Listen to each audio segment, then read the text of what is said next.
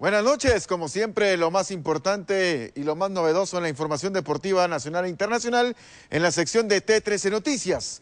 Vamos a iniciar hablando del deporte nacional y por supuesto la actuación que están teniendo nuestros atletas en los Juegos Bolivarianos allá en Perú y resumiendo lo que ha sido una jornada también de cosechas de medallas. Guatemala hoy ganó su nueva medalla de oro por intermedio de Andrés Zelaya en el taekwondo compartimos estas imágenes del tenis de mesa porque también el tenis de mesa dio dos preseas hoy para la delegación guatemalteca. Por equipos con eh, Héctor Gatica, Moisés Moscoso, José Miguel Ramírez y Kevin Josué Soto, medalla de plata por equipos en varones y medalla de bronce por equipos en mujeres.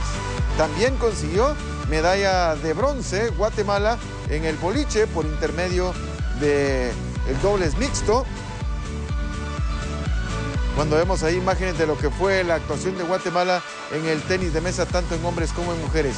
Les decía que hoy también eh, se consiguió en dobles mixto la medalla de bronce en el boliche. Y así está Guatemala en el medallero general con 15 de oro, 19 de plata y 25 de bronce, ocupando la sexta posición, el mejor clasificado de Centroamérica, 59 en total en ese medallero que sigue siendo encabezado por Colombia, que tiene 130 de oro, Venezuela tiene 123, luego están Ecuador, Perú y Chile. Guatemala mantiene esa sexta posición sobre República Dominicana, Bolivia, El Salvador, que ahora pasó al noveno lugar, superando a Paraguay y se mantiene en el último lugar Panamá. Mañana entra en acción la marcha, así que le deseamos lo mejor a la distancia al equipo guatemalteco que entra en los 20 kilómetros eh, para hombres, así que esperemos que así sea eh, una nueva cosecha de medallas para Guatemala en este día eh, miércoles. Bueno, hace unos minutos hay resolución del órgano disciplinario de la Liga Nacional de Fútbol y se ha cambiado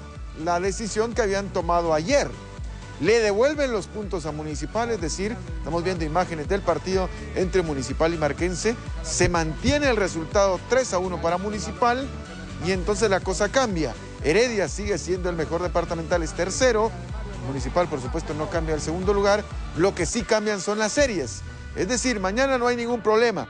Municipal enfrentará a Malacateco a las 3 de la tarde, mientras tanto que Comunicaciones visita el Deportivo Suchitepeques.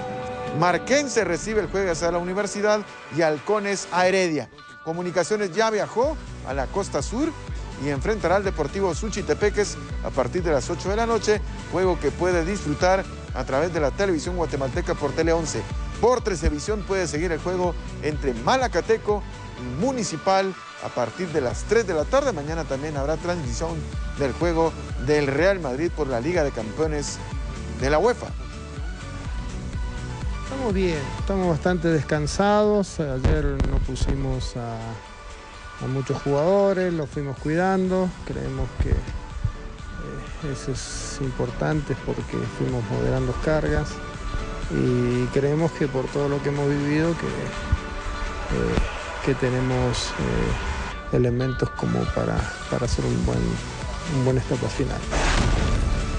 Sí, por supuesto, tuvimos descanso este, fin de semana por la acumulación de tarjetas. Ahora podemos estar tranquilos en ese sentido, lo mejor del torneo, lo que todos hemos estado esperando desde que iniciamos el trabajo con una pretemporada bastante fuerte en el Faro y ahora bueno, se viene lo último del torneo, lo mejor y estamos prácticamente a seis partidos de poder lograr nuestro mayor objetivo. Sin embargo, tenemos que demostrarlo dentro de la cancha. Bueno, gracias. ¡Ey, espérate, mi amor! Te hace falta el jugo. Y ahora te lo hice fuerte. ¿Fuerte? Sí, te lo hice con el nuevo Vital Fuerte Ampolla Bebible. Ah, listo. Las nuevas ampollas bebibles de Vital Fuerte vienen cargadas de energía, vitaminas y carnitina que ayudan al cuerpo a convertir más rápidamente la grasa en energía. En la casa, en el trabajo y en el deporte, Vital Fuerte Bebible, una ampolla de energía para un día cargado.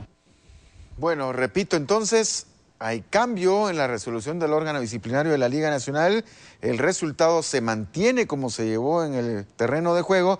Resulta que hoy evacuaron la audiencia del gerente municipal que presentó las pruebas para eh, desestimar la sanción para el equipo rojo y el árbitro Mario Ramírez, como es costumbre de los árbitros, no se presentan, no comparecen ante las citaciones del órgano disciplinario. Así que el, el resultado se mantiene 3 a 1 a favor de Municipal y eso cambia las series. El jueves Halcones recibe a Heredia, así que Heredia tiene que viajar desde Morales hasta la Mesilla, mientras tanto que por la noche en el Estadio Marquesa de la Ensenada, Deportivo Marquense enfrentará a la Universidad de San Carlos. Y recuerde que mañana los dos partidos de los cuartos de final, tanto en el Estadio Santa Lucía de Malacatán, entre Malacateco y Municipal, como el Suchitepeques Comunicaciones, lo puede seguir a través de la televisión guatemalteca. El deporte nacional por cortesía de Vital Fuerte Bebibli.